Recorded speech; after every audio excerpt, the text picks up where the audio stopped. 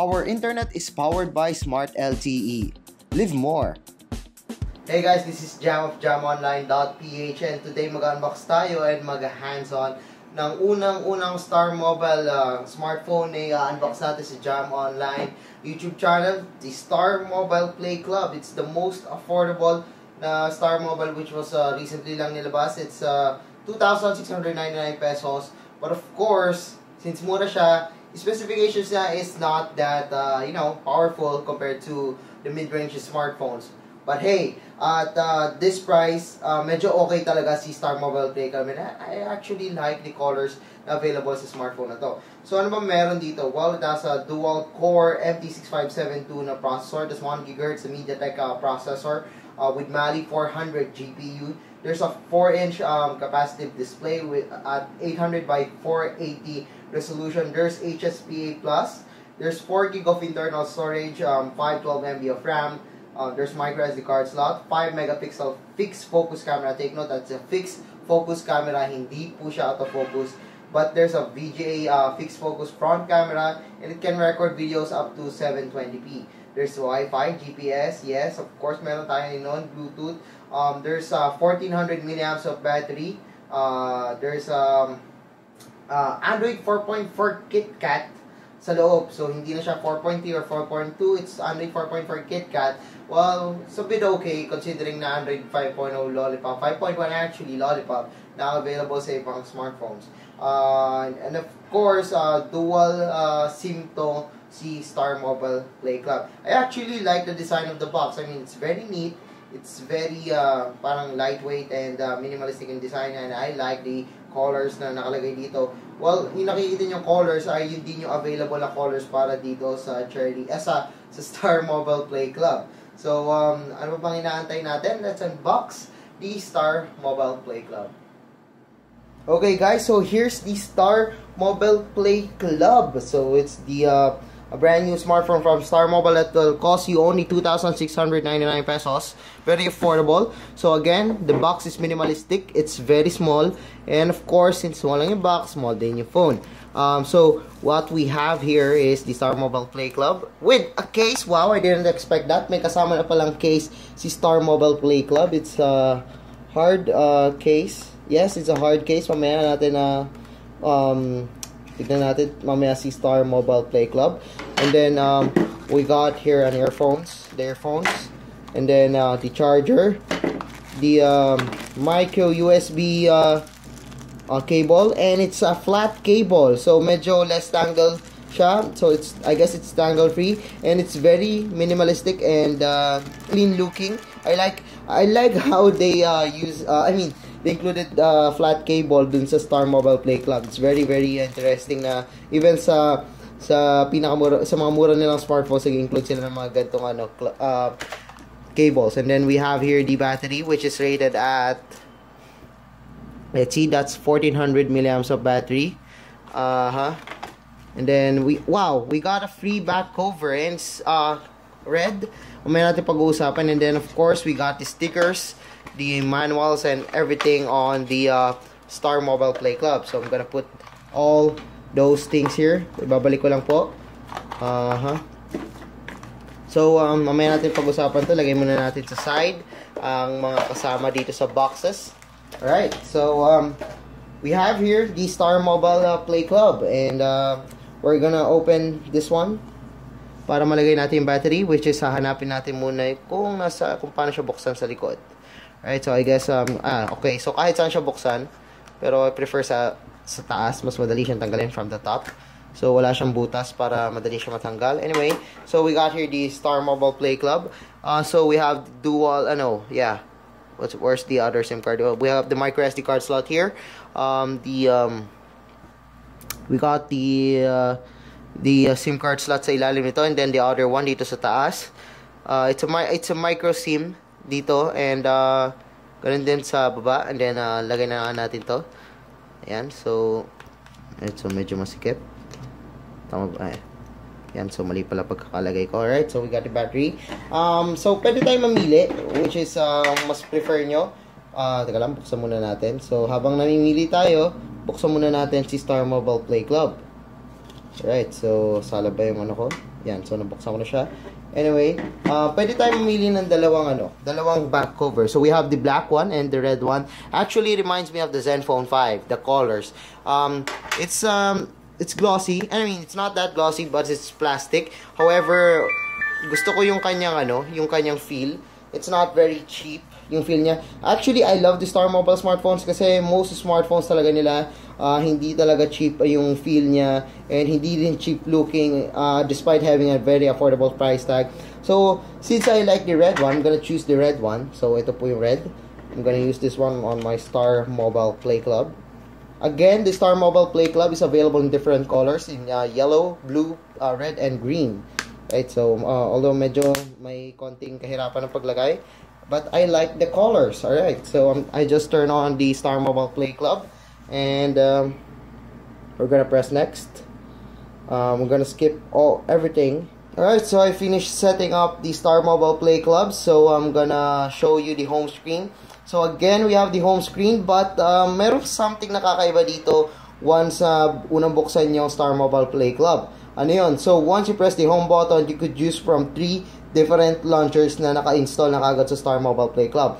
First, you could use the simple launcher, which is a very, very user-friendly na launcher. As you could see, meron siyang weather, um, contacts, Wi-Fi, everything na basic needs niyo sa isang smartphone nandito na sa simple launcher. And it's very, very user-friendly, lalo na sa mga first-time smartphone users. Uh, isa pa, medyo malalaki din yung icons yan, malalaki yung nakasulat. So, sa mga, well, di naman sa minamasama natin pero yung ibang matatanda na malabo ng mata and not uh, really used to using a smartphone, medyo madadalian sila sa interface na to. Uh, so we have the phone, uh, medyo malalaki nga actually yung ano eh, yung mga mga icons and everything. Ayan, so as you could see malalaki yung yung icons and even yung mga letters except for the messenger messaging app. Uh, so we have the gallery which is uh, similar din sa gallery before the calendar uh, yan. So I guess yung phone and contacts yung pinaka main ano dito na malaki talaga. Ayan. So let's see if we could add. No I guess we I guess we couldn't add any um, um, applications on the simple launcher. Anyway so that's the simple launcher. Another uh, app na pre-install dito is this one. So it's a shortcut for the home button the menu button and the back button. So basically if you don't want to use the the buttons here you could just swipe from this um, button and then yan hold nyo lang. Pili kayo the home button the back button or the menu button. It's up to you kung ano gusto nyo gamitin. But I prefer using the uh, this one the capacitive button sa baba. So of course we have the uh, the na launcher na makikita natin sa Star Mobile smartphones. And then we have the styles which is uh, a little bit tweak with uh, some new icons. And um, as you could see medyo tweak, uh, maganda rin yung kanyang transitions sa menu. Uh, with a glossy something something, I don't know. So, um, as you could see, marami tayong pre-installed applications. Uh, so I'm going to use Launcher 3 because this is the most basic and the fastest one for me. So there are pre-installed applications that you always uh, probably use like Instagram, Facebook, ES File Explorer, um, and then we have um, Quick Office. Basically, Quick Office is uh, what we need sa mga uh, Microsoft Word files you know, and everything. We have Opera Mini uh, Star Mobile Sync 2.0. I don't know what that is. Uh, so, yun. I guess meron pa tayo. App Store which is for Star Mobile uh, smartphones. I guess, yeah. Um, gonna, ano lang, dim the display lang so you could see the um, smartphone clearly. Alright, so I'm gonna, yan. So, I, na-dim ko na siya. There's, wow, there's UI style. What's that? Alright, so there's UI style. Uh, so I prefer the white uh, UI style per white. Yan, so it's white. Medyo malinis siya tignan para sa akin. Mas gusto ko yung white sa totoo lang. Yan, we also have a new background. The Star Mobile logo and everything. The Happy Man logo. Anyway, uh, we got speed test din pala. So, uh, it's very interesting. Uh, but first, before um, tingnan natin yung iba pa, I'm gonna tour you dito sa smartphone. I mean, let's check out ano pa meron dito sa smartphone. So, sa likod, we got the camera with LED flash and of course again meron tayong dalawang back cover but I choose chose the uh, red one and it's um, not glossy uh, but um, it's plastic you could feel that it's plastic pero mukha naman siyang okay tingnan maganda siya tingnan sa totoo lang we got the speaker grill here um, on the right side we got the power button and the volume button on the top we got the micro USB and the 3.5mm audio jack sa ilalim. Uh, the I guess that's the microphone. Uh, the microphone of the phone. We also got a um, three uh, capacitive buttons, which is the menu. And so um, we also have the home button, with, and of course that's the launchers na tatlo. Then the back button. So um, I'm gonna choose the this one. And so we also have here the uh, the VGA front camera, and there's the uh, 4 inch 800 by 480 display. Actually, 800 by 480 and a 4 inch is not that bad. Um, kasi sa display niya, so I'm gonna turn on the uh, brightness again. So, um, I'm sorry. So, I'm gonna choose yung brightest. Alright, so as you could see, uh, medyo okay na, uh, medyo hindi ano yung viewing angles niya sa ibang part. Well, it's not that good, but it's not that really that bad uh, for its price. Considering it's a 2,699 pesos smartphone, the display isn't wash out and it's um, okay naman yung whites niya. The colors, uh, hindi siya masyadong wash out and so far it's okay. So I'm gonna uh, auto climb brightness and I'm gonna use the launcher 3 as my um, my default launcher since that's the fastest one for me. Alright, so what else that uh, na pwede ko pakita sa inyo? Alright, so settings, I could show you the multi-gesture which is slide up for messaging uh, for message uh, slide down for phone uh, but I actually don't want to use the the multi gesture kasi medyo nakakalito siya so yan uh, two point slide down two point blah blah blah. Yan so um, if we do that sa home bot sa home. Yan so it's automatically uh, uh, nagbubukas si messaging or anumang app yung ginam yung nilagay nyo doon sa settings. But um, I actually want that disabled kasi baka mamaya may accidental touch and mabuksan yung ibang apps. Lalo na dalawa lang daliri gagamitin. Right so there's one-handed operation despite having a 4-inch display which is kind of weird alright so about play club let's see so we got android 4.4.2 kitkat so yes that's the k for kitkat and then we got the logo of Android 4.4.2 KitKat. So there we go. That's Android 4.4.2 KitKat for you. Um, there's Doctor Safety, Star Mobile Sync. Again, I don't use those apps, but uh, uh, marami, medyo marami actually na pre-installed software. But let's see if we could uh, uninstall. Well, yeah, you could pre uninstall yung mga apps like Opera Mini. Um, I actually don't like na maraming nakalagay na apps like those uh, Star Mobile apps and the Opera Mini uh, na pre-install dito. However, sa mga first-time smartphone users, matutuwa sila kasi hindi na nila kailangan mag-download pa. So, we got the launcher. Pwede tayo mamili sa settings.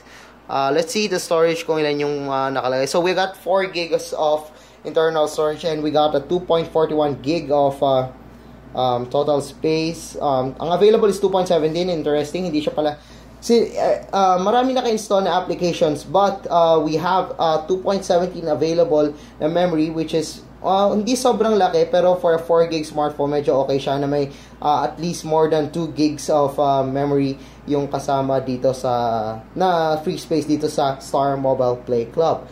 So um, by the way, before I forgot the last uh, one, this is the hard case. So um, it's a clear uh, case, well, may pagka-blurred or something. It's very sturdy. See, it's, you can't bend that one kasi it's a hard case. But um, so far, it's good. Wow, it fits nicely. Um, okay naman yung buttons, hindi natatakloban. Even oh, dito sa taas, meron din siya 43.5mm audio jack. And then, uh, so there we go. So I think that's it for the unboxing and hands-on of the Star Mobile Play Club. So if you want to know more about this, uh, uh, don't forget to check out my website. I'm going to post a review about the Star Mobile Play Club soon. So jamonline.ph, don't forget to visit my blog. And of course, if you like this video, don't forget to give us a thumbs up. And if you haven't subscribed to my channel yet, well, mag-subscribe na po kayo. So once again, I am Jam of jamonline.ph and see you guys again on my next video.